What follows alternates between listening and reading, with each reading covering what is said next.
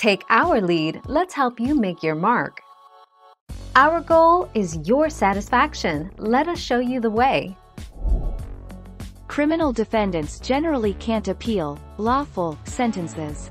But a defendant can appeal a sentence if it's illegal, unconstitutional, or unreasonably excessive. In some states, however, if the defendant didn't notify the sentencing judge of an illegal sentence, the appellate court cannot review it.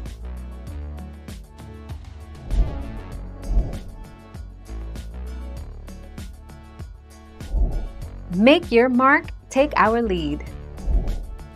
Tips for speaking in front of the judge.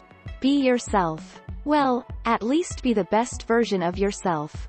Do not lie, minimize your actions, or make excuses. Keep your emotions in check.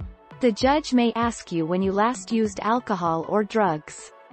Be consistent. The judge may ream you out.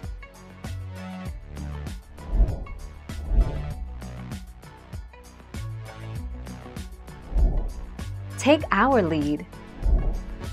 If you felt compelled to plead guilty to a crime that you did not commit or that you entered an invalid guilty plea, you may still have options.